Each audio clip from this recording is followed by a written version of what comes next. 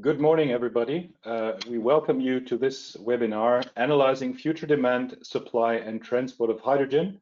We're very keen and thrilled to have with us today Kadri Simson, the Energy Commissioner of the EU Commission.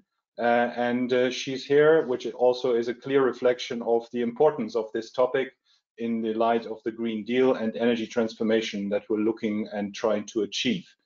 Um, what we have presented and prepared for you today, if you please go to the next slides, uh, is a short welcome introduction giving setting the stage.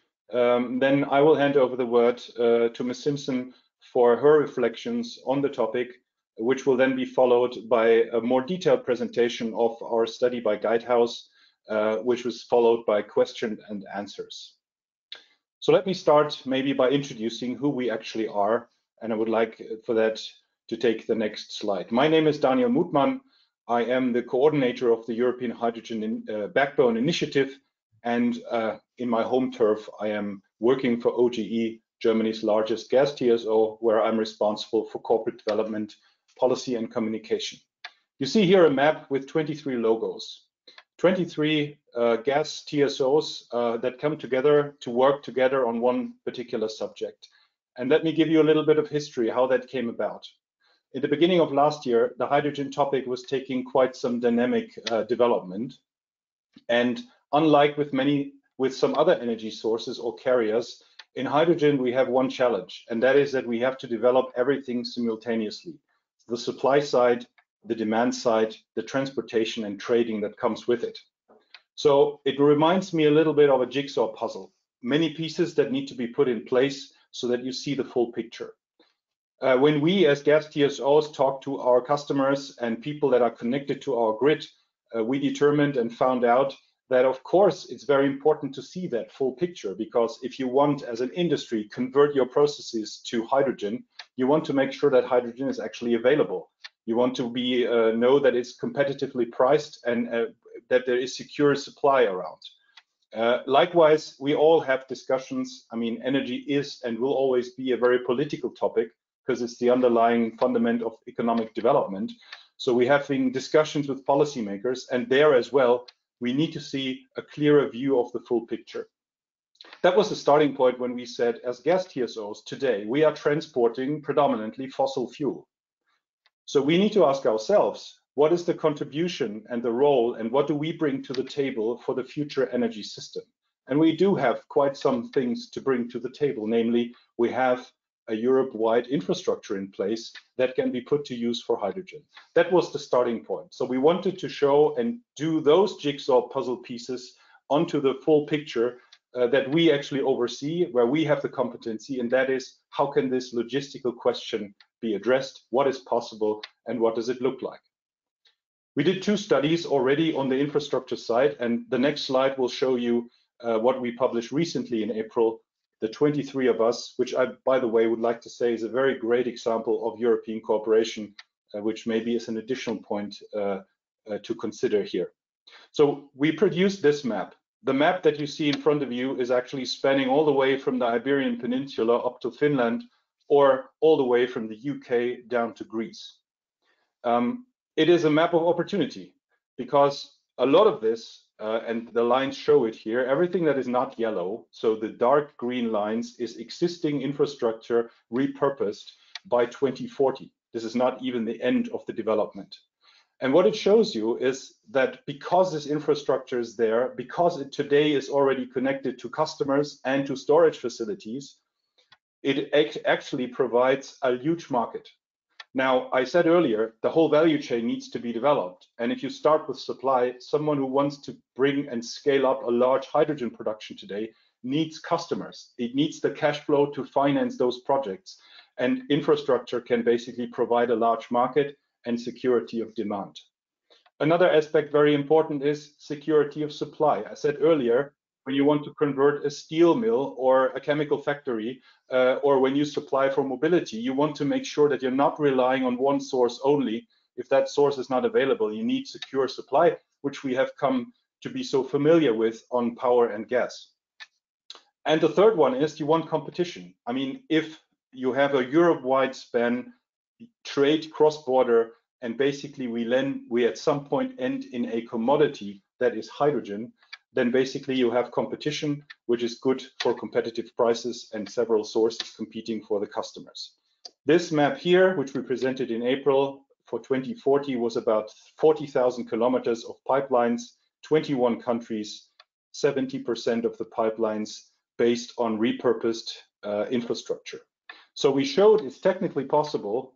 We gave an assessment as to what are the timeframes, and we also dared, uh, which is a, quite an exercise, to, to try to estimate how much is this going to cost.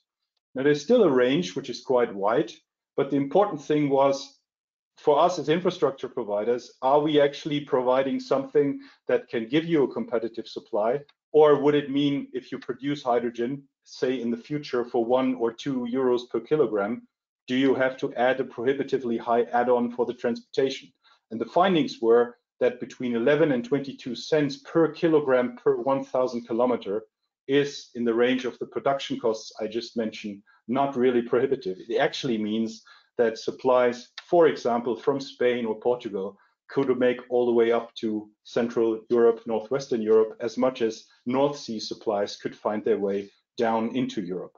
That was a very important milestone. But there's a number of questions missing, and one important one is, it's nice to have this network, but is there enough hydrogen around? And that is what today's webinar is about. So we basically took some work from Gas for Climate, which we've done before, and we updated demand figures for Europe. What is the anticipated demand? Now, having said that, it's very difficult to assess the demand Europe-wide in a top-down approach because Europe is quite diverse. Whereas for a steel mill, for example, it can be easy or straightforward to say, well, the steel mill will work the same way in Germany as it, may, it might do in Italy or Spain. Uh, when it comes to sectors like transportation or even more so buildings, it's very different because we have different geographies, different climate zones. We have different building stocks, uh, different legacy infrastructures on the retail or distribution side. So that's why there are, of course, simplifications here and the, the, the technology assumed, which we then rolled out all over Europe, certainly will not be very precise, but it gives an order of magnitude. And on the supply side, we looked into what supplies of hydrogen are within the reach of this European hydrogen backbone. So we noticed that there is a lot of discussions in many of our countries about where do supplies come from. Will they come from Australia or Chile or somewhere around the world, which is all good to have these discussions, but we wanted to focus and say what's within Europe. And you see here on the slide, actually high level, what we came up with. So just your attention for a moment to the map. What does this map show? It gives you on the left side the potential for green hydrogen uh, to be produced in the region that is marked in a certain color. And on the other side, it is an aggregate of the demand that we mapped out in the demand analysis.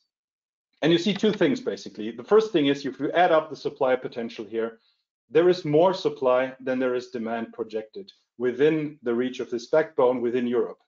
That's, we believe, is quite an important uh, message. If we want to keep a lot of value creation in Europe, that's actually something we could develop and which is within reach if we make the right decisions. We also see that the supply demand balance in those regions is different and it's natural as with any other energy carrier, the allocation of resources is not even. So the infrastructure can also play a role here to make sure that you get the product from areas with a lot of supply to products which are dearly in need. Um, and uh, I think this is one of the key findings and messages uh, of today. Now, it goes without saying that Europe is not even as a Europe an island. We are connected with our infrastructure. For example, in the east towards Ukraine and Russia, we are connected to the south to North Africa, and we are connected intensively with energy exchange happening today to Norway up in the North Sea. Now, all of these regions provide large potential, which will complement and might even compete with the sources that I'm, that I'm describing here. But for us, it was very important to get a feel around this. And we believe it's quite a different message if I'm just thinking infrastructure and then things have to come from far abroad or, or things can actually be made available within what we have here. Um, and therefore, we also did a little bit of a cost comparison pipeline versus other means of transporting hydrogen. So summing up, uh, We believe we can underpin with this study that the infrastructure has a key role to play. As I said earlier, it provides security of demand, it provides security of supply, it gives the means of a competitive European market, and it actually helps us to access those supply sources that we actually have. So now it's of course about making decisions. We found in a dialogue with stakeholders and we talked to many, many companies along the value chain, people are getting ready, people are prepared, but we need to set the right frameworks so that there is security when it comes to the investment and the right incentives in place. With that, my overview and sort of high level spoiler for later on, please stay tuned, uh, would be done. And I'm very happy and would appreciate and pass the word to Energy Commissioner Kadri Simson to hear her reflections. Thanks.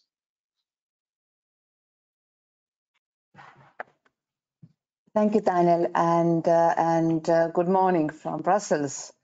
Um, and many thanks for inviting me to today's presentation. Well, everyone listening today knows our ambition. We both uh, need and we are determined to reach net zero by 2050. And renewable hydrogen will hold a special place in that um, energy system of the future. But that place is not fully established yet, and uh, we are building a whole ecosystem almost from scratch. And because of that, uh, in our hydrogen strategy, we recognize that as the market scales up, production, infrastructure, and demand are expected to come online at different points across uh, time and space in, in the EU.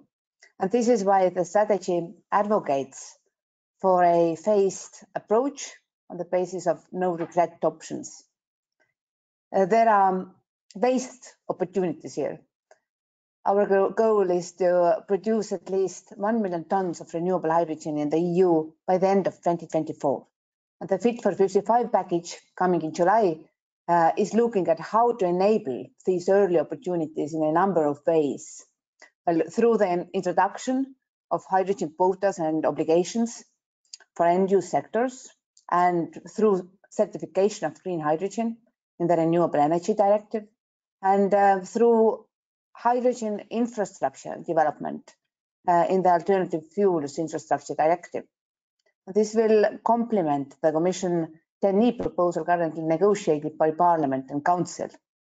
Uh, but we need already now uh, lay down the framework for the next stage of hydrogen development after 2030. And uh, we are talking about larger scale production further removed from um, existing hydrogen demand centers, uh, new forms of hydrogen demand in other um, industrial sectors, and development of uh, hydrogen valleys.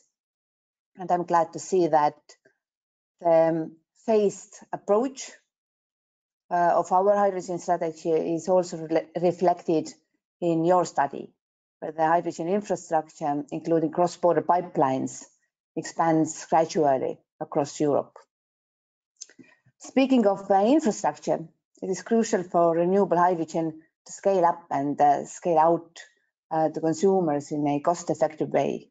Without it, um, our plans will only stay on paper. And we see transmission and distribution networks as a very promising way of transporting hydrogen. They will have um, to be um, complemented uh, with uh, other modes of transport. And for this reason, the Commission has uh, proposed to include dedicated cross-border hydrogen networks in the scope of the TEN-E regulation. And in this way, we can mobilize public funds for cross-border projects um, that are not commercially viable. Um, and the Council has endorsed this approach. Uh, last week, Member States uh, reached, uh, reached agreement on general approach, and it was uh, actually very fast, just six months after the TEN-E proposal was presented by the Commission. And now the Parliament uh, will adopt um, their position soon. And uh, then we aim to finalize uh, this key piece of legislation by the end of, uh, of the year. And we will have then a crucial element of our hydrogen strategy. Afterwards, the active involvement of TSOs and other project developers will be key to develop concrete projects and turn ambition into action. And in parallel, we have started our public consultation on the upcoming hydrogen and uh, gas market decarbonization package. This package will also provide um, the Commission's proposal proposals on how the future hydrogen grid should be regulated. And with these key regulatory developments and the EU push for production capacity and transmission development, we are confident, um, like in your report, that uh, EU will be able to meet uh, its hydrogen demand needs. Uh, whenever needs are not met, we will be working with international counterparts to facilitate hydrogen imports from neighboring countries. And this brings me to international dimension. And uh, um, this is an integral part of our strategy. Uh, I am often asked if the EU hydrogen strategy is only focused on enhancing EU domestic production. And my answer is a clear no. The idea is uh, for Europe um, to collaborate with our neighborhood, and in particular with Morocco and Ukraine, on uh, developing projects and supporting cross-border trade. At the same time, there is um, great scope of um, uh, of um, for global cooperation, and we have been long-time partners, in particular with the United States and Japan. And Japan has backed very strongly for the development of hydrogen and um, has led some of the most ambitious research programs. Um, I see great potential, in particular on exchanging uh, best practices and um, developing a global rules-based market including uh, common standards, safety and uh, certification. Uh, ladies and gentlemen, um, your study is a welcome contribution to the debate on the European hydrogen economy. And uh, it is a useful input for the legislative proposals that we are preparing. And only through developing a shared vision and uh, goals for a European hydrogen ecosystem we can make sure that uh, Europe leads in building hydrogen economy for a global clean energy transition. Thank you for listening.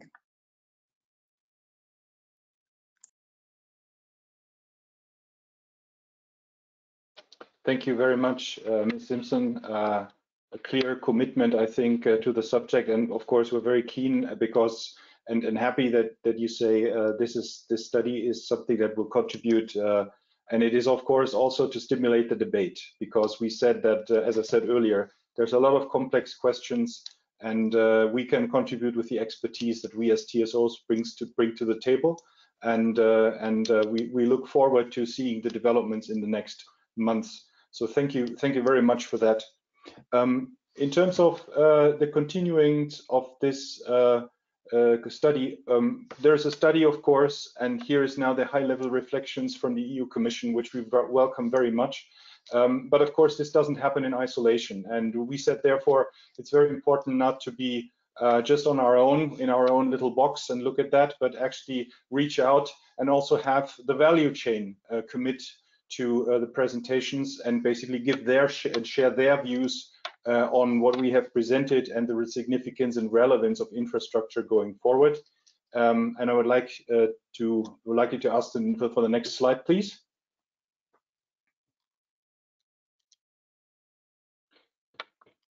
Handing over uh, to uh, Dan Peters from Guidehouse, who is now helping us to dig a little bit deeper uh, into the study and uh, what we've actually analyzed over time I will come back later on uh, to introduce you just in order another incentivation to stay tuned. We do have guest speakers here as well who will give us reflections on, on, on, on their view, as I said earlier, which I think is important to get a sort of complementary picture. But first of all, Dan, over to you. Thank you, Daniel. And I can already review, reveal that GIE GSE is one of the guest uh, speakers. Uh, let me focus now on uh, on uh, European hydrogen demand as we analyze it in the study. Um, this slide uh, shows the um, the picture of of how we see it developing uh, up to 2050. So um, our analysis shows that hydrogen will be very important to achieve climate neutrality mid-century uh, across Europe. meaning in this study, uh, the European Union and the UK, um, to a total um, of 2,300 terawatt hours, uh, which equals roughly 220 BCM of uh, natural gas equivalent, uh, or 20 to 25% of, uh, of the EU and UK final energy consumption by 2050. Um, so this is a very large quantity of, of energy. Um, particular, um, um, we see this uh, emerging in a variety of sectors. Um, industry will be very important. So uh, hydrogen will be absolutely crucial to decarbonize industrial processes, especially in heavy industry, uh, iron, steel, ammonia, and fuel production. Also, in the power sector, hydrogen will be valuable in providing dispatchable uh, electricity and providing affordable uh, storage. Transportation, mainly the heavy uh, transportation uh, uh, modes. Um, in this study, we focus on uh, heavy road transport and aviation fuels. Um, and then the building, the building sector as well.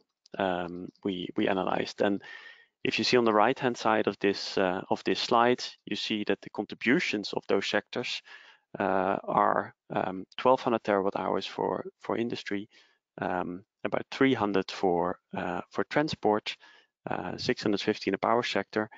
The building sector will use um, uh, 600 terawatt hours of uh, of gas, renewable and low car carbon gas by mid-century, both in through district heating and through um, um, through uh, boiler technologies. Um, this 600 terawatt hours could either be biomethane or hydrogen, uh, and this will vary from country to country. So uh, using the assumptions uh, as we did in our study, uh, it will lead to uh, 150 terawatt hours of hydrogen, but it could be anywhere up in this range, up to 600 terawatt hours. This brings me to an important disclaimer or note that goes for all of our study, uh, we study the whole of Europe, the whole of the EU plus UK, based on a set of uh, uniform uh, assumptions. Now, of course, we are aware that in reality, there may be differences across countries. Uh, there may be um, different um, developments over time. We, of course, look at 2050. Uh, so just to state up front that we work with a set of uniform assumptions uh, and that can sometimes lead to uh, differences with what is sometimes perceived at, uh, at national level. So let's go and, and uh, take a quick deep dive into uh, the various sectors. On the next slide, we see uh, the industry sector. So industry by 2050, as said, 1200 terawatt hours of, of annual hydrogen demand mainly into the in the chemical sectors, iron and steel and fuel production. So more than half of this uh, of this uh, quantity of hydrogen takes place in uh, in fuel production, um, where, for example, in the aviation we see uh, a large demand for synthetic uh, kerosene. We'll come there in a, in a, min in a minute. Um, so the picture that you see here is actually a picture uh, that provides the the, that illustrates the, the view of 2030, uh, where we see roughly 300 terawatt hours uh, of, uh, of hydrogen demand across Europe. And you see here uh, how that 300 terawatt hours distributed over Europe at the NUTS 2, uh, NUTS 2 level. On the next slide, um, we uh, have a little bit of background on, on, on how we performed this analysis. So we did a, a close um, assessment of more than 300 industrial installations uh, using the EUTL uh, database. So uh, we get what their um, what the um, yeah what the emission levels are uh, of these installations uh, all across uh, Europe, and then we looked into okay company announcements, decarbonization strategy. So what is the the accepted view on how uh, these installations uh, will decarbonize over time based on what uh, yeah, energy carriers. Um, so this led to the to the view that uh, hydrogen will become very important on uh, in decarbonizing all of these uh, heavy industry sectors. We also looked into um, industrial heat, and we found that mainly in medium to to high temperature industrial heat, hydrogen will play a very important role as well. On the next slide, we show the transport sector. As said, our analysis focused on heavy road transport and uh, aviation. There's also uh, a possible demand for hydrogen uh, in the future maritime sector. Um, we did not analyze that, but that could lead to an even um, even higher uh, hydrogen demand overall in the transport sector. Yeah, in our analysis, uh, we conclude that um, uh, hydrogen fuel cells are expected to power uh, a bit over half of, uh, of trucks, heavy trucks, uh, and a quarter of buses by 2050, um, which will, um, yeah, obviously also need fueling infrastructure across across Europe. Um, and here in this segment, uh, hydrogen plays a role alongside uh, electric uh, trucks and alongside a role for, for bio-LNG and bio-CNG. Then looking at the aviation sector, uh, here we see uh, an important role for um, both synthetic kerosene and biojet fuel. Uh, biojet fuel um, being a very attractive option, yet in terms of size uh, yeah, limited by uh, by supply of sustainable biojet fuels, but still a very important role there. Um, and synthetic kerosene, uh, obviously by by 2050, will require large quantities of of of hydrogen.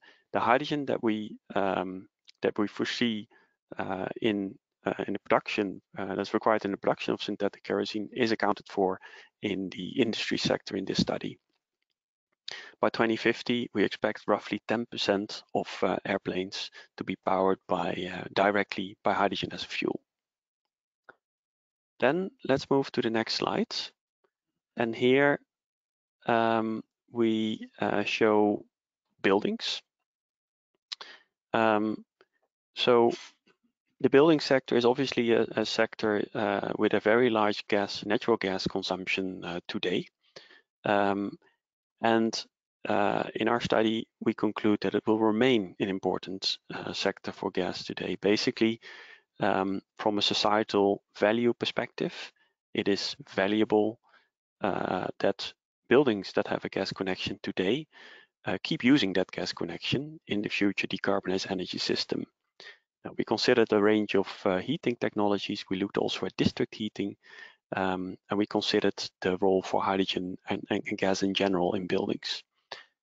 We considered uh, an important role for building renovation in line with the EU renovation wave.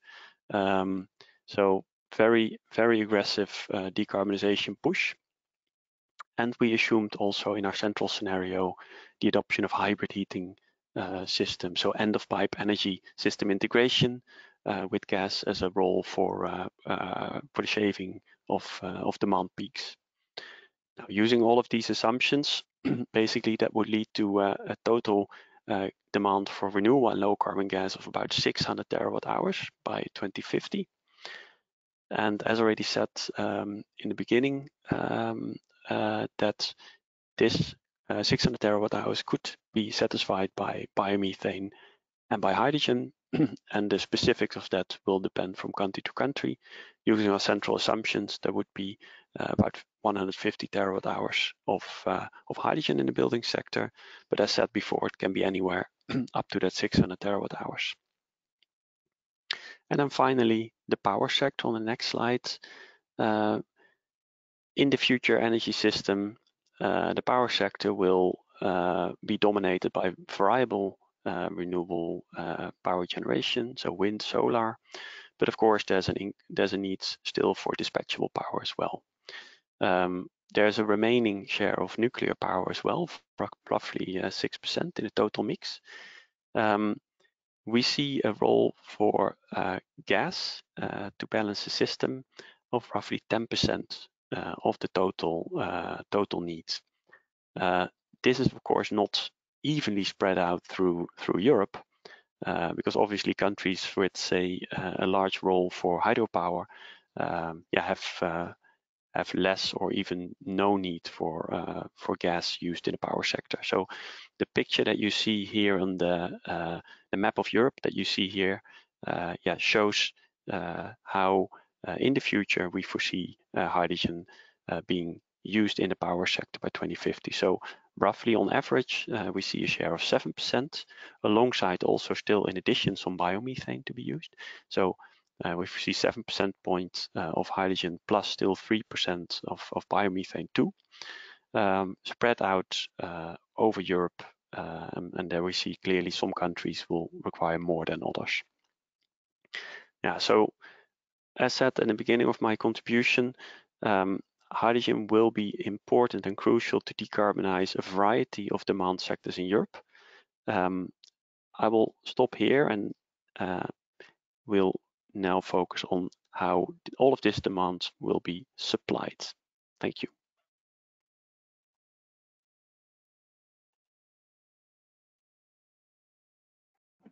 Good. Thank you very much. Thank you, uh, Dan. But before that, we would like to uh, invite uh, Marcus Schöffel from ThyssenKrupp, uh, one of the potential big uh, future users of hydrogen, to give uh, his view on on these developments. Marcus, the floor is yours. Thank you, Kees, for the introduction.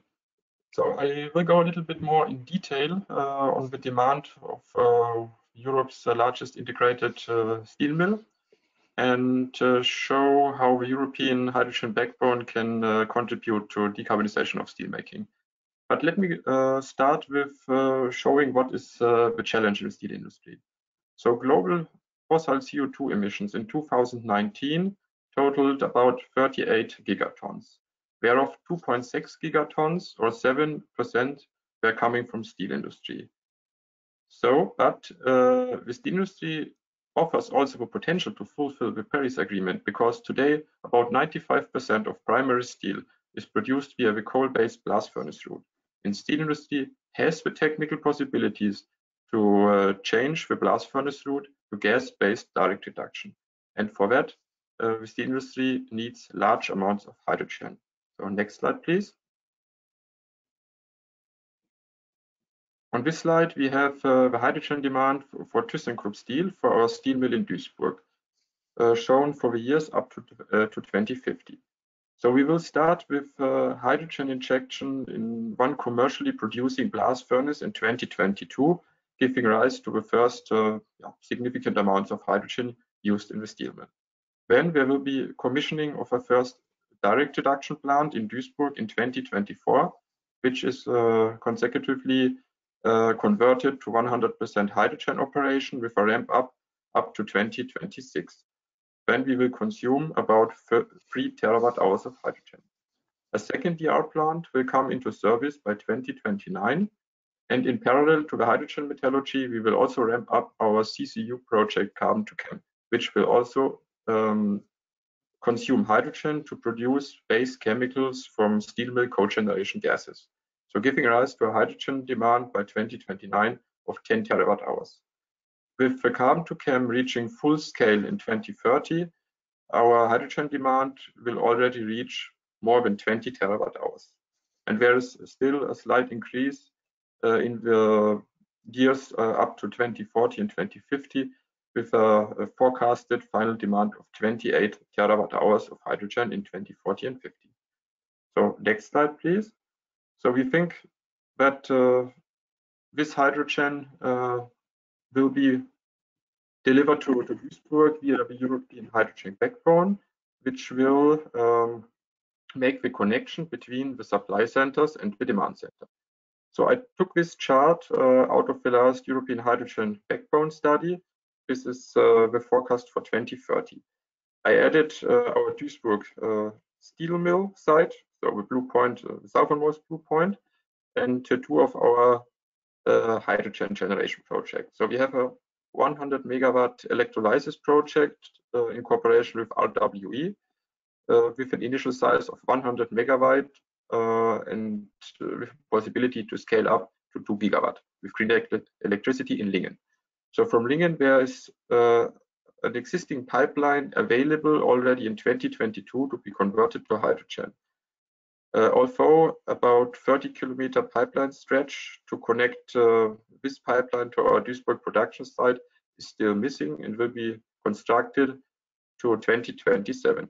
So meaning that in 2027, the connection from Lingen to Duisburg is available. On the other hand, we have a blue hydrogen project called H2Morrow Steel, which we conduct together with Equinor and OGE. This is our largest and most advanced hydrogen generation project, and which will be uh, located in Eemshaven in the Netherlands. So hydrogen can flow half of the way from the coast to Duisburg through uh, the Dutch hydrogen backbone, then through a newly established, established uh, border crossing point to Germany, and then it takes the same route down as the hydrogen from Lingen. As the new border crossing point in capacity will not be sufficient to transport all these 2.7 gigawatts, a second uh, pipeline routing is necessary.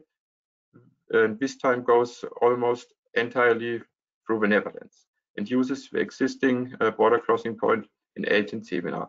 So meaning that in 2030, we have a second hydrogen connection from Eemshaven to Duisburg and uh, being able to deliver uh, hydrogen to our steel mill to reach our climate targets. Thank you.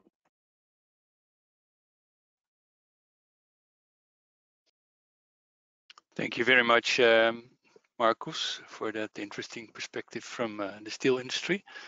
It's now my pleasure uh, to present to you uh, the supply side of our analysis. So if we need uh, so much hydrogen, up to over 2000 terawatt hours by 2050, uh, where will it all come from? First of all, I would like to look with you at uh, the domestic potential uh, for producing green and blue hydrogen. Uh, we found in our analysis that the potential of the EU and the UK to supply green hydrogen from dedicated renewables uh, will go up from 450 terawatt hours in 2030 to 4,000 terawatt hours by 2050.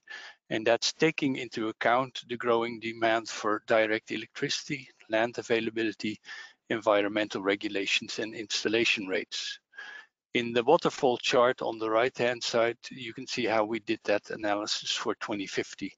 So on the left-hand side, you see the electricity that can be produced in Europe uh, from wind and solar. Um, then in two steps, we add uh, the power generation from existing hydro, from the remaining nuclear power plants, and from other sources.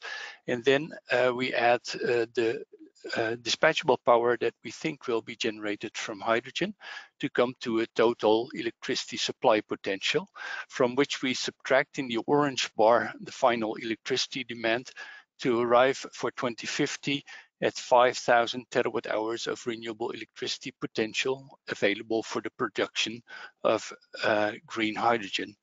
Uh, assuming by that time reduced conversion losses of 20%, that leads to uh, the 4,000 terawatt hours of green hydrogen potential, of which uh, a small part, the, the gray part, is of course needed to provide that hydrogen generated electricity that I showed in the third bar of this waterfall chart. This uh, overall would take about 1% of the total EU and UK landmass, and it would mean a rapid and vast expansion of the wind and solar capacity beyond what we need for direct electricity to meet those potentials. And of course, there's a, an element of public acceptance there. On the other hand, Europe can also produce large quantities of blue hydrogen. Uh, this could enable a quick start because we don't have to wait until all the electricity demand is already being served by renewables. Uh, it could drive emission reductions and accelerate the uh, pace of the transition. The supply of blue hydrogen uh, in Europe is virtually unlimited in terms of these kind of numbers because both the natural gas supply and the CO2 storage potential far exceed the hydrogen demand that we forecast. Next slide, please.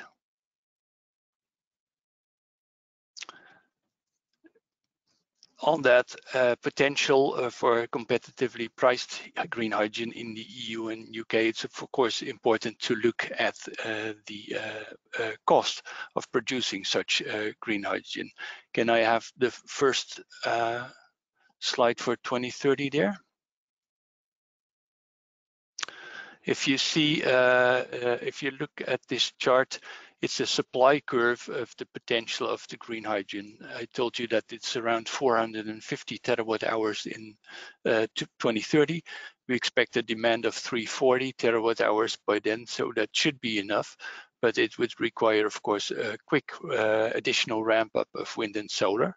And here we show you the estimated estimated production cost. A very small quantity uh, can already be produced at around uh, 1.5 euro per kilo, uh, and there's more supply at 2 euros and just above. Uh, it will uh, become by 2040 and 2050 uh, more cost competitive as both the cost of wind and solar and that of the necessary electrolysis goes down. So if we look at 2040 now, you see a much longer uh, supply curve uh, up to over 2000 terawatt hours. So uh, would be more than enough to serve the 1350 terawatt hours of demand indicated by the vertical dashed line there. Um, and also you can see that the costs are going down, more of the supply dropping below that 1.5 and certainly the 2 euro line. And then finally 2050,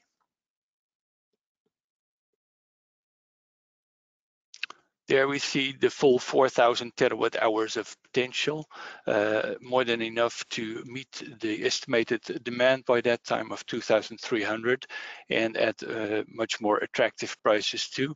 Uh, quite some uh, supply already at the one euro per kilo mark and up to 2,400 terawatt hours at cost up to 1.5 and another uh, 1,600 that costs up to 2 euros. And that means that we'll see a growing potential for, uh, with the growing CO2 prices on the other uh, side, a growing potential for uh, green hydrogen that does not need subsidies. Next slide, please. If you zoom in, then you can see that the blocks in this chart uh, represent technologies. So uh, the yellow is the solar and uh, in certain countries. So the solar in Spain is here the cheapest, followed by onshore wind in Ireland, etc. And you see that uh, overall this potential is uh, spread out over Europe, but of course some regions can produce at lower cost than others. Next slide, please.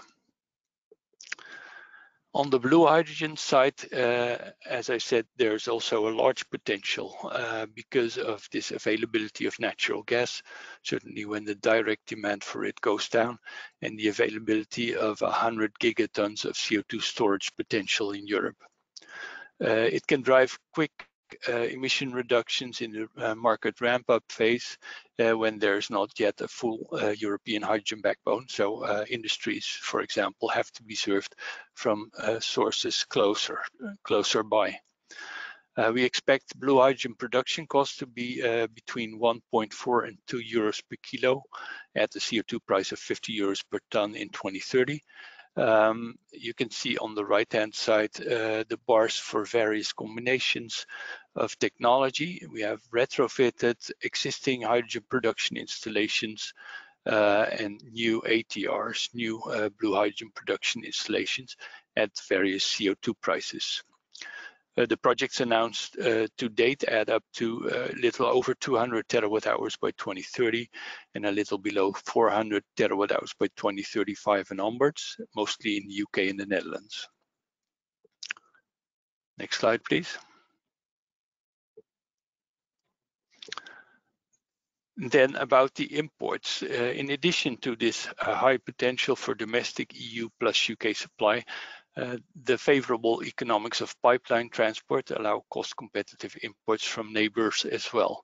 Uh, the abundant natural resources and the proximity um, drive uh, attractive cost levels there. Major potential green hydrogen supply uh, regions outside of the EU and the UK are North Africa and Ukraine, as already mentioned by our Commissioner for Energy. This can be at a co competitive cost. Uh, for example, uh, the solar green hydrogen from North Africa could reach the backbone at cost of around one euro per kilo. Uh, blue hydrogen from natural gas producing countries is of course also an option and in all cases it should be ensured that such hydrogen is produced sustainably with high greenhouse gas savings. Next slide please that completes uh, my uh, presentation of the supply side of our analysis. And in this respect, uh, electrolyzers are very important. So I'm very happy that the CEO of ITM Power, one of the European electrolyzer manufacturers, Dr. Graham Cooley, can give his perspective here. Graham, the floor is yours. Thank you very much for the introduction. So um, it's great to be with you um, on this webinar and uh, congratulations on the publication of the uh, of the backbone report, which I thought was very good indeed. Um, so look, um, um, I'm joining you today um, eh, from Sheffield, um, from our Gigafactory.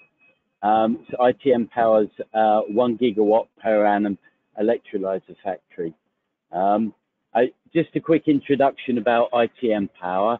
Uh, we were the first hydrogen related company on the London stock market. Uh, we have been developing PEM electrolysis equipment now uh, for the last 20 years and was we were delighted uh, at the beginning of this year to move into the world's largest electrolyzer factory, which you can see behind me. Um, all of the staff are now in the factory and we are delivering product uh, from the factory. In October last year, we raised 172 million on the London stock market. She had a, a, a really important um, interaction with the capital markets in the City of London. And, and we were actually two and a half times oversubscribed. So we could have taken 0.4 billion uh, from the London stock market uh, to develop electrolysis equipment, but most particularly to build electrolyzer uh, manufacturing facilities. And in fact, um, uh, one of the important messages that I have for you today is that uh, uh, the capital markets are backing green hydrogen in a big way. They've understood the um, uh, the need for electrolysis and its role in the energy transition. So was was uh, delighted to have been able to raise that money. Not only have we moved into a gigawatt scale manufacturing facility, but we raised enough money in that funding round to be able to build a second gigafactory of a larger size and are very much looking forward to uh, being able to announce our second gigafactory when the first one gets to uh, a significant uh, uh utilization. So why are we scaling up so rapidly? Uh, we're scaling up rapidly because uh, the electrolyzer industry needs to put in place manufacturing capacity so it can meet the incredible demand uh, for electrolysis. I think you've clicked my slides over before I've had a chance to uh, talk about it. If you could go back, thank you very much. Um, so uh, the demand for electrolysis equipment is really rapidly increasing. I've got a, just a quick historic chart for you here.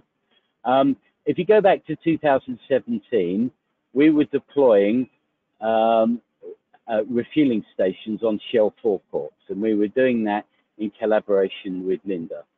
And those were around 100 kilowatts in size. Uh, two years later, we were deploying one megawatt unit, 2019, you, and, and that's a scale up of deployed electrolysis equipment of a factor of 10. You move forward another two years from 2019 to this year, where we've just deployed 10 megawatts at the Rhineland refinery. Um, and that's a scale up of another order of magnitude in two years. And I was delighted that Shell announced the expansion of the Rhineland refinery project to 100 megawatts in size. And we've been working with Phillips 66 and Ørsted on a, a 100 megawatt deployment in Humberside in the UK. That's another um, scale up of an order of magnitude in two years. And the target from the EU for 2024 is six gigawatts of electrolysis. And to deploy that in 2024, 2025 is another scale up of an order of magnitude in two years. So that is historically a very strong trend of scaling up by a factor of 10 every two years. That's logarithmic growth. And the way we're going to be able to achieve uh, that kind of growth is by making the technology modular um, and by um, having a deployment partner. Um, and we work very closely with Linde Engineering through our joint venture ITM Linde Electrolysis. So not only can we scale manufacturing with the backing from the City of London, but also we can scale deployment and the EPC required. So achieving gigawatt scale for Europe, um, a, a, number of observations. I, I, think it's fantastic to see Europe moving so solidly into electrolysis, um, green hydrogen, and the energy transition. And, and that's incredibly important. The industry needs incentives, and I think the package of incentives that are being designed in Europe are incredibly important. But they need to be in place quickly and they need to be defrayed quickly. And the reason I say that is if you announce a package of policies like the EU announced on July the 8th in 2020, then the industry will wait for those policies to be implemented. And they may do the opposite. They may slow the industry down on getting started because the industry is waiting for those policies to be published uh, and for those incentives to be in place. So execution you, is right uh, on now. Thank I'm you very sorry, much. We, we have to move on quickly as okay. well. thank you very much Thank for your thoughts there. Okay, thank you. Then it's um, um, over to Daniel uh, to introduce our special uh, guest speakers of the day. Uh, Daniel, please. Yes, thank you very much. I think uh, we already seen quite some perspective here and got some sort of news and perspective also from the industry, but we're very pleased to have today with us uh, uh, Dr. Axel Wietfeld and Francisco de la Flor, uh, representing GIE, a very important voice in gas infrastructure in Europe. And uh, we've talked a lot about supply, but as you all know, uh, and as we know from the renewables discussion, it's a question not only is there on aggregate enough energy around, but also is it there when you need it? And here comes storage into play. And we're very happy to get some insights and perspectives as to the role and the value of underground storage in hydrogen. Axel, over to you. Um, thank you, Daniel. I, I hope you can hear me okay.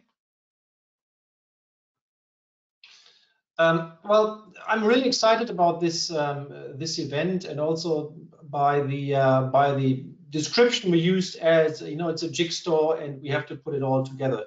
So let me give you um, together with Francisco um, um, a view on how storage would fit into this overall picture and we also conducted a study together with Guidehouse about the value of underground gas storage, in particular to the uh, European hydrogen uh, system. Um, just a quick word on GIE uh, on the next slide, um, Gas Infrastructure Europe. um, it's um, the association representing the interests of European gas infrastructure operators. And infrastructure means storage, um, transmission and also LNG regasification. Um, those members work and innovate with renewable and low carbon molecules, including hydrogen, natural gas, and, um, biogases.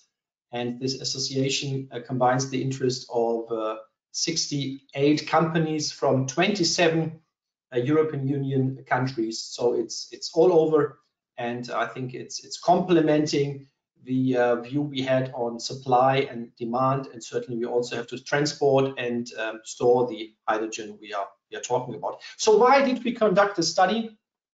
We felt um, the role of um, storage for hydrogen needs to be clarified for the future. And also it requires a first estimation of um, how we could do that, of the value we could add, and uh, last but not least also to discuss the suitability of storage sites for an um, hydrogen um, economy. So having said that, the next um, page describes the, um, the role we would see for um, underground storage in a in a future economy. The ultimate objective is clearly to design and operate an energy system based on both electrons and molecules. It's not either or, it's clearly both. Um, and also to meet um, net zero greenhouse gas emissions by um, 2050, potentially earlier. So just in line with the European view of decarbonizing the entire industry. Underground gas storage uh, will be a key enabler for this objective. And um, it already provides key benefits uh, to the energy system today, and um, it will so um, in future. So we have three elements we, we normally see. Element number one is the system value. This enables, storage enables the efficient planning and use of infrastructure for electricity and, and hydrogen. And it adds to flexibility and um, this reduces the needs to, to overbuild. For example, um, production capacities for electricity um, and or for, uh, for gas. Value number two is the market value. With storage, um, we lower the final cost of natural gas today and in future of hydrogen, um, mainly for end users, um, because storage reduces the prices on, on short term and also on, on seasonal timescales, uh, because it just balances um, the uh, the flows, the natural gas flows, and in future the, the hydrogen flows. And last but not least, it's it's the insurance value. I'm sure you're you're familiar with uh, with that one, and that resonates with you storage is just a backup for extreme events such as infrastructure failure, adverse and extreme weather conditions, um, as we have seen um, in the past. So um, very important that um, we look at these three um, additional values uh, we have with, uh, with storage. So compared to its current use, the role of underground gas storage um, will be even more pronounced to ensure the resilience of the energy system um, as a whole. On the supply side, this is mostly due to higher hydrogen supply. Um, and on the demand side, of course, this is um, owning and managing both the, the, sheer volumes as well as the demand variability of, of, hydrogen. So I'm going to describe now what we are up to um, by 2030 and then beyond. So first of all, um, let's have a look at um, the uh, perspective for the next 10 years. Um, our view, uh, derived from the study, um, is that for the next 10 years, the hydrogen supply profile will be both variable and flat. Why am I saying that? Um, talking green hydrogen, we will certainly have a variable uh, supply of hydrogen fluctuating together and aligned with the renewable supply.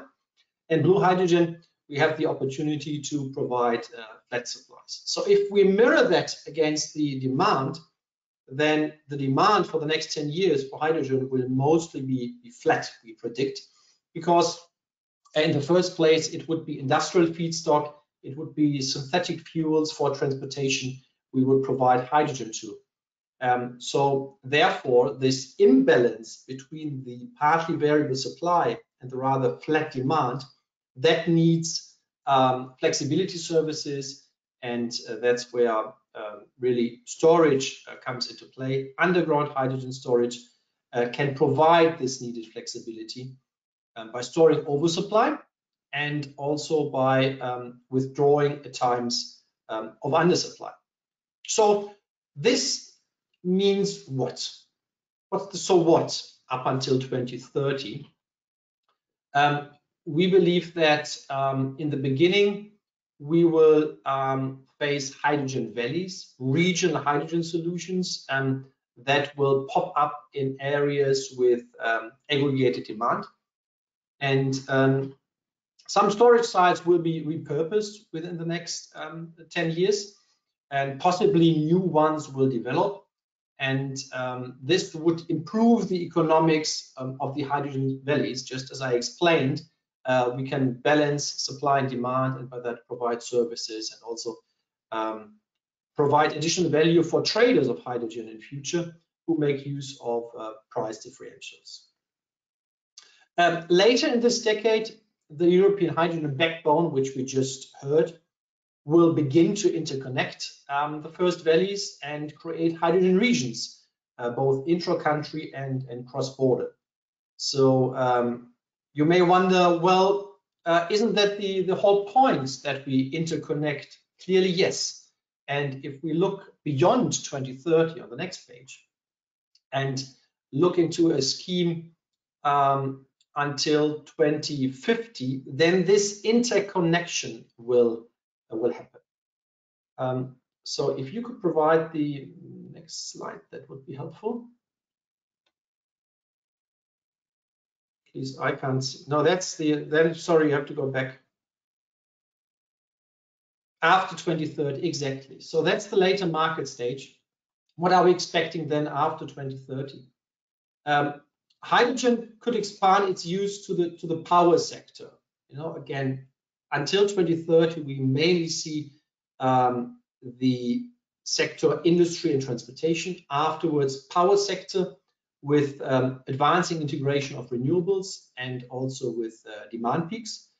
And uh, that will be followed by heating sector, and that will create then additional uh, demand profile for hydrogen, uh, mainly with peak requirements.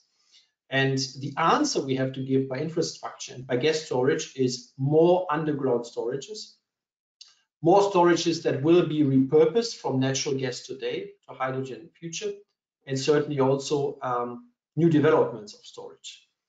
And beyond 2030, we um, will face um, an environment where we treat hydrogen as a commodity, where a liquid hydrogen market will, will evolve, and that, of course, requires also interconnection on the um, on the transmission and on the storage um, side. Um, and that will allow to use storage um, even further away from hydrogen supply and, um, and demand. So additional requirements uh, we very much feel um, comfortable with. And consequently, we think that the, the usage and integration of storage is a very uh, pivotal factor in the, in the entire scheme of the hydrogen developments. So if we now look at where um, have we got storages already today and uh, where will some of those be in the future, then um, on the next slide, Francisco will, will present um, existing work and, and also I think some future deliverables we as um, GIE will, will provide. Thanks, Axel. Um, just uh, some facts and figures now in a, in a couple of slides. Not uh, not many, but they have enough to illustrate our capacities, our storage capacities. In this uh, slide, taken directly from the report commissioned by uh, GIE and GSE, there's a lot of detailed information per country on hydrogen demand, storage needs, and storage potentials. Uh, you, you will read later on, you have the possibility to read later on. One uh, first order estimation of hydrogen storage capacity requirements for the countries covered by this initiative shows the need of, for around 70 terawatt hour of hydrogen storage uh, in 2030, growing to uh, around 45, uh, 450 um, in 2020. And according to a GSE database in the EU, and, UK, there are already uh, 160 sites, half of them depleted fields, but also salt caverns and aquifers, all together provide an operational capacity of 1,160 terawatt hour. Therefore, all in all, huge amount of capacity. All underground gas storage types will therefore have to be utilized both for capacity and geographical uh, reasons. Both repurposing and uh, development of new storage sites will be required going forward and already by 2030. This is also very important to mention that our uh, GI, our infrastructure, particularly uh, underground gas, uh, underground storages, is the only way that such energy volumes can store. As a reference, the largest utility scale battery to date, Moss Landing, can store some 1.2 gigawatts of energy. So we would need all uh, already over 40,000 of such batteries in 2030 to store these uh, energy volumes. Next, please. Next slide and last for my side. Yeah, um, uh, we uh, just uh, 31 storage uh, operators, uh, storage system operators uh, in GSE. We we provide a couple of, of products quite interesting. I would like you to consider. here um, on the right hand side, we have the the GSE map. Significant amount of information is available, sites, capacities, and and more very complete and reliable information. I invite uh, you to visit uh, our GI webpage and to download it. Also, in the future, if you want a hard copy, we can also uh, provide. GIE uh, and GSE has successfully uh, developed a storage-related transparency initiative, such, uh, such as the storage transparency platform called AGSI Plus, and will release an updated 2021 um, um, storage, I say uh, map printed and interactive versions in the coming weeks. Then please take a moment to visit it, the referential source of info for uh, the underground gas storages in Europe. Thanks, back to you, Axel.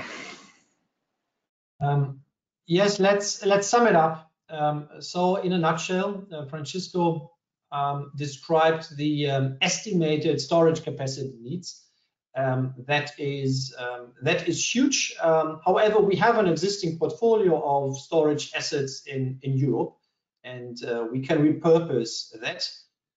Um, everyone who is familiar with energy infrastructure knows that that will take um, some years, um, arguably shorter than new developments, but nevertheless, we need a certain lead time to provide those storage services. Good news, we have already started so um, investigations and also repurposing of existing assets um, has already started. Um, the storage system operators uh, are active in that, uh, will take a, a, leading role to provide security of supply and also to offer services such as, uh, such as balancing.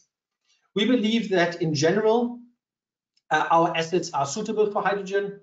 Salt caverns uh, are definitely suitable. Um, depleted fields and aquifers are also well equipped to store hydrogen or natural gas and, and hydrogen blends, and since uh, this is a good case. I very much appreciate that we also have the uh, support of um, um, of politicians and of the regulatory um, environment, which is obviously key to develop the hydrogen market. We need a business case and we also need a clear guidance from a, a regulatory point of view and also um, support in, in, that in that sense. So that needs to come together and um, I hope that I could give you a glance into the uh, world of, of storage. Good news is we can transform the natural gas storage into um, hydrogen storage. And with that said, um, over to you, Kees. Thanks both for this uh, important uh, guest contribution. Storages are definitely an important element in, uh, in the system of the future. And now for the final uh, section of this presentation, of the presentation of the EHB report, European Hydrogen Backbone Analysis, we uh, move on to uh, my colleague Anthony Wang, based in London, who will present the section on hydrogen transport by pipeline and by ship. Anthony, floor is yours. Thank you, Kees. Um, so yeah, sticking to the infrastructure part, we'll focus on the uh, cost comparison of uh, hydrogen uh, transport infrastructure. So uh, previous studies, in previous studies, we have concluded that hydrogen transport by pipeline is technically feasible and economically affordable. So the, the natural follow-up question is, well, then how do pipeline costs compare to other means of transport, uh, including shipping and even, even powered transmission? So what did we find? Well, um, first we found that hydrogen pipelines are the most cost-efficient option for long-distance, high-volume transport of hydrogen. So what you see on the, the graph on the left um, is a comparison of hydrogen transport costs in euro per kilogram for pipeline and shipping over various distances um, up to 6,000 kilometers. For shipping, we looked at three methods, liquid hydrogen in dark blue, um, ammonia in light blue, and liquid organic hydrogen carriers in yellow. And for pipelines, we analyzed 48 inch uh, and 36 inch diameter pipelines, both new and repurposed. And so our main findings, which are summarized on the right hand side, are uh, first, uh, we found that pipeline transport outcompetes shipping Uh, as you can see on the graph, it outcompetes shipping on a cost basis for essentially all reasonable distance within Europe and also between Europe and neighboring regions. Um, the second thing we found was that hydrogen transport by ship, it really comes with a high fixed upfront cost, uh, which is related to the, the conversion and reconversion losses. So when you look at imports from uh, regions such as uh, North Africa and Saudi Arabia, uh, which have distances of up to uh, let's say between two and 3,000 kilometer, then you find the tr ship transport is, is, three to five times more expensive than pipelines uh, per kilogram delivered. On the other side, if you if you transport from Australia or, or, from afar where shipping is the only option, then of course this this would be the only option. It would cost around one euro uh, per kilogram of hydrogen. Our third uh, finding is that cost-efficient um, hydrogen transport it, it really only weighs marginally on the total delivery cost. So this really gives pipeline imports from neighboring regions uh, quite the advantage over importing from from other continents where pipelines are um, not, not an option because of the sea. So uh, on the next slide, we've gone into a bit more detail on the drivers of, of the, the two different uh, types of transport. So um, the key message here is that the, the cost drivers for pipelines and ships are really very different. And this is reflected in the bar charts. So uh, for pipeline transport, you uh, so what you see on the left, you essentially need a pipeline and a compressor, and, and both a simplified level more or less scale with distance. So let's say for each additional 100 kilometer uh, of hydrogen transported, you need a certain amount of pipeline and you need a certain amount of compressor uh, and compression power uh, to cover that distance. On the other hand, uh, shipping requires a, high uh, amount of fixed conversion and reconversion costs because you are not transporting hydrogen as a gas, which means that regardless of how much or how far you're shipping, uh, each kilogram um, essentially loses a, a, substantial amount, up to 20, 30% each way through the conversion process. And this could be liquefaction, gasification, cracking. Um, so that's really the key message here is that the cost drivers are very different. Um, then on the next slide, uh, so this was a bit of a, a, zoom in. On the next slide, we, we kind of step back and we look at hydrogen transport by pipeline compared to power transmission line. Um, and, and so the, the idea here is if you so if you wanted to transport hydrogen over some distance, clearly pipelines and ships are one option. But the, the other question you might ask is if, if hydrogen is produced from renewable electricity, um, then you could also transport it as power uh, and then electrolyze it at the consumption site. Um, and so we, we, looked into this, and as with shipping previously, we modeled both cases. Um, the pipeline cases are the same as before. For power lines, we looked at uh, overhead high voltage HVAC, that's in dark orange. Uh, we also looked at overhead HVDC uh, in lighter orange, and then also underground um, cables in HVDC in purple. And so what did we find? Uh, so the first point is if you just look at the, the transport costs, we found that the desired when the desired end product is hydrogen, underground pipelines um, are two to four times more cost effective than overhead power lines.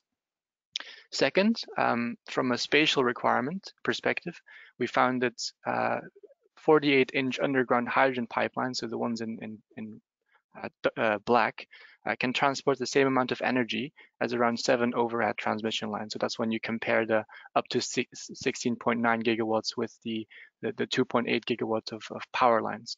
Um, and then the third point is that, uh, you know, although these figures um, are under a certain set of assumptions, we also observe that uh, transport costs can be very sensitive to um, a range of parameters such as the desired end use uh, carrier, the characteristics of the renewable energy source, and the availability and cost of, uh, of storage. And that brings me to the uh, last point of this slide, which has been made before by several of my colleagues in this webinar, but is that we, we don't see infrastructures for electrons and molecules or for power and gas as being in some kind of uh, zero-sum competitive game.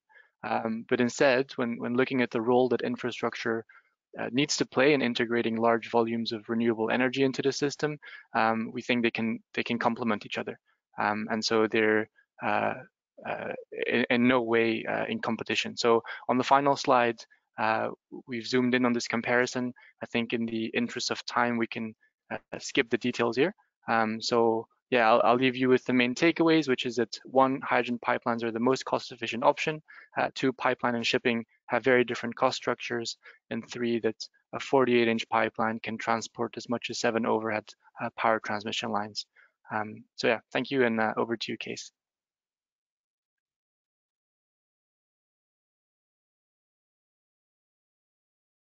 Uh,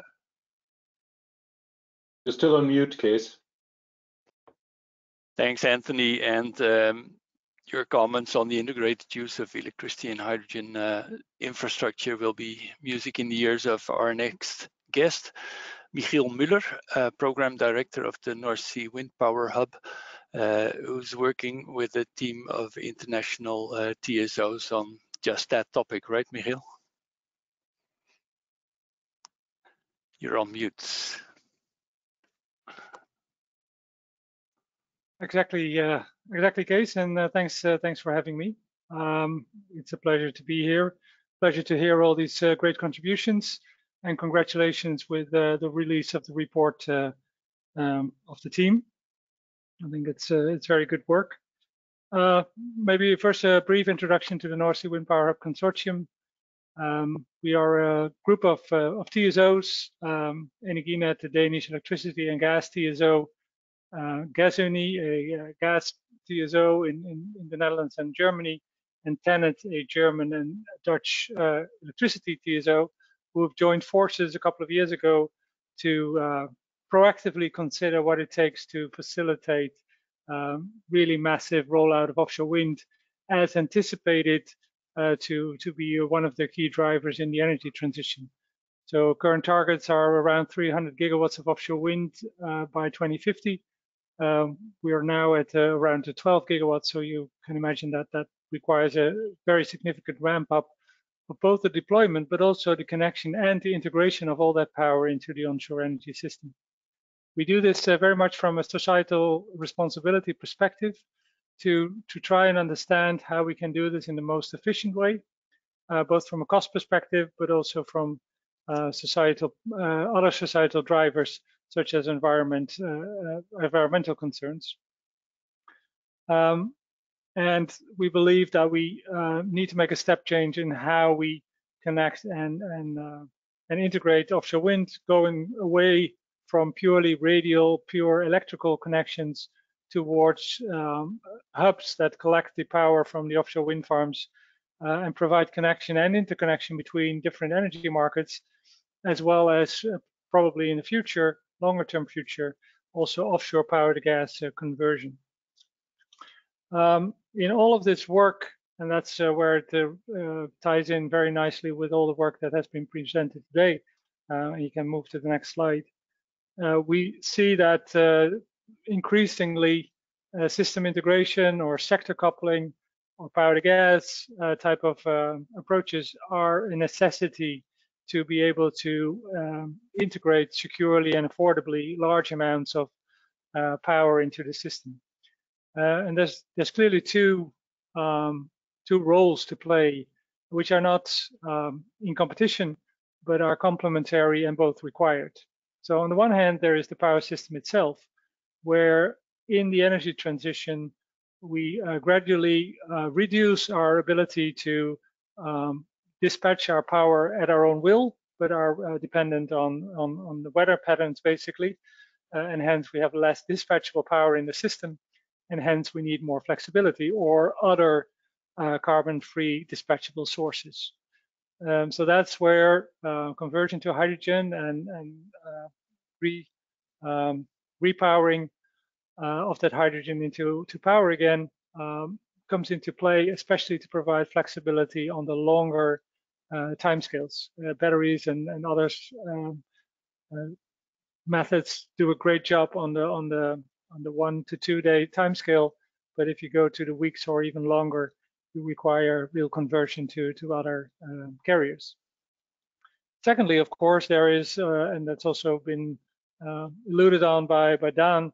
There's there's uh, there's there are hard debate to wait sectors which which will not um, be decarbonized by further electrification and require hydrogen basically as a feedstock or as a starting point of the decarbonization process. So it's really the both serving the power system in terms of the flexibility aspect as well as uh, decarbonizing the hard to abate sectors.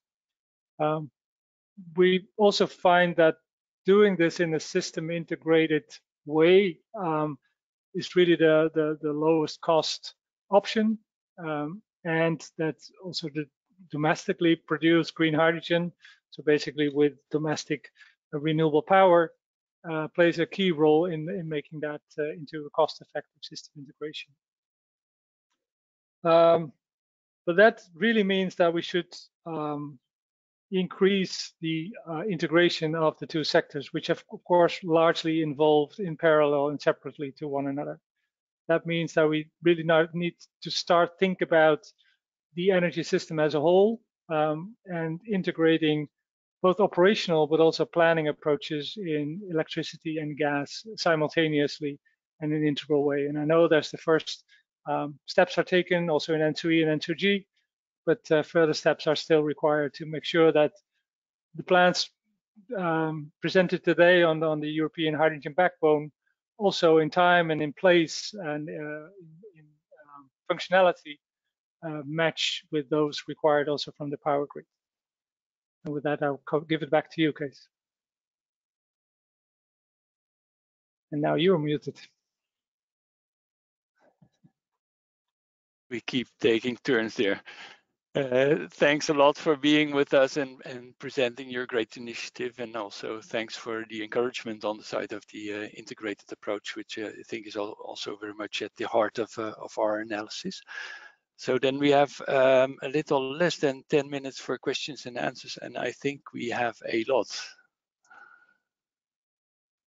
So uh, Maud, who uh, should we give the floor?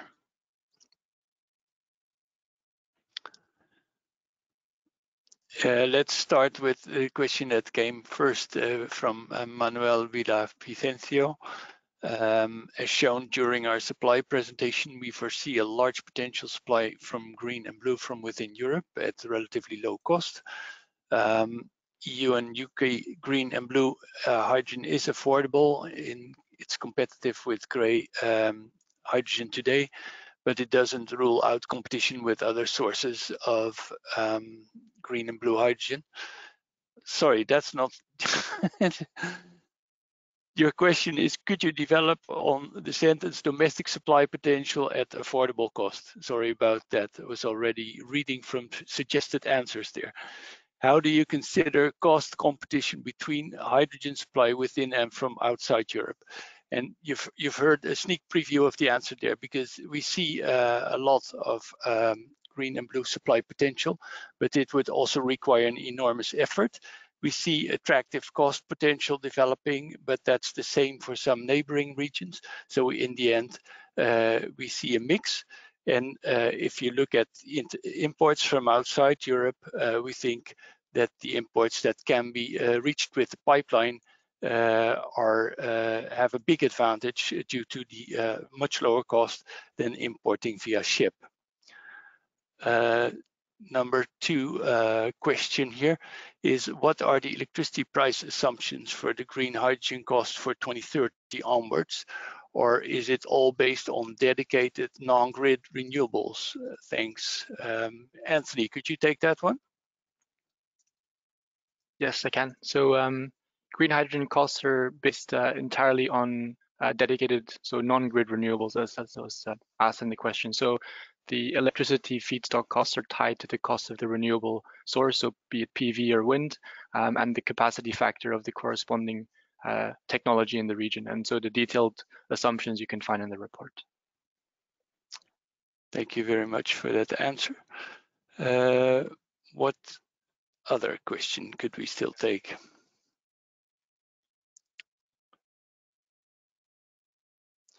Are uh, a question for Daniel here. Are pipelines capable enough to transport hydrogen or would significant investment be needed to stop potential leakage?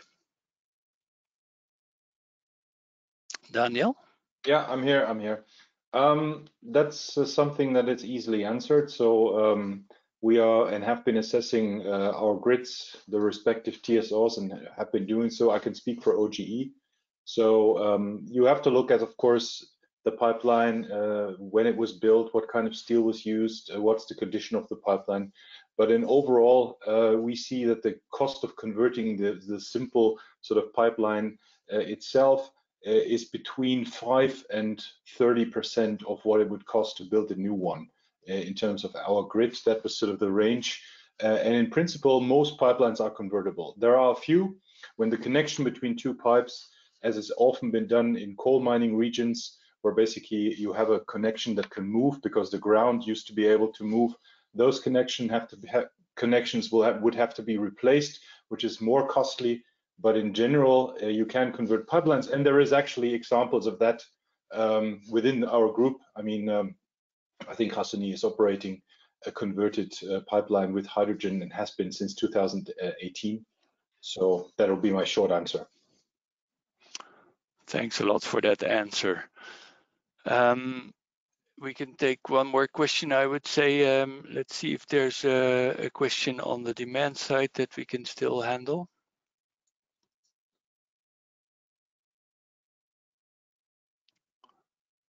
Is there any other questions, Dan? Any questions that you would like to bring up? We have one here. Why does heavy road energy use decline so dramatically to 2050? why does the energy demand overall go down? Uh, down. That's for you. Uh, yeah, thanks, guys. So basically, um, we do assume uh, energy efficiency uh, also in uh, in road transport, so across the sectors, but also in uh, in, in, heavy road transport. Um, we also assume that um, you know part of the um, part of the segment goes to move to electric uh, battery electric vehicles, which have uh, an improved uh, energy efficiency. Um, so battery electric and, and, hydrogen fuel cell vehicles, we assume um, consume roughly 35 uh, to 60% of the energy as compared to conventional diesel uh, fuel. So all this together uh, means actually that indeed there's a decoupling between energy consumption and, and distance traveled. Back to you guys. Thanks a lot. Um, with that, I think we've uh, reached the end of um, of the uh, webinar. I would like to hand it back to uh, Daniel uh, for some closing remarks. Daniel, over to you. Yes, thank you, Kees. Um, I think what we've seen today was quite a comprehensive view in terms of first, we wanted to give an impulse with our study. Not only is important to look at infrastructure, uh, there is an important element here, which is the storages, which was presented by GIE, uh, but also in terms of the availability of hydrogen within Europe, which we believe should be an important input in the political debate uh, to not only directly sort of consider uh, supplies, which will also come from further away regions, but let's see what we can also develop and how we can make things happen in the potential that we have here certainly a topic that will continue.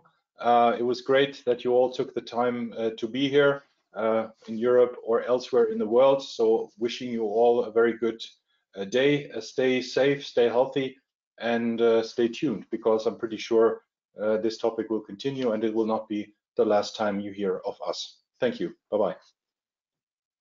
Thank you very much.